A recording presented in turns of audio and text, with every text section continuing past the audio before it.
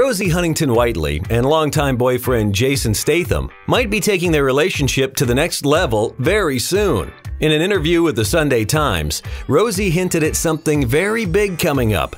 She said, There are a few things in my personal life that are very exciting that I probably can't elaborate on. So, does that mean a wedding could be happening soon?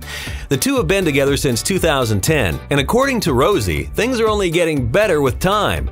Aside from their deep connection, Rosie described Jason as her best mate and that she feels truly lucky. But let's back up. What about that important thing coming up in the couple's future? Although all Rosie's hints during the interview didn't lead to any concrete wedding plans, Rosie did describe herself as optimistic for the future, saying she's looking forward to having children, motherhood, and more. And if what she's hinting at is true, wedding bells could be in their near future.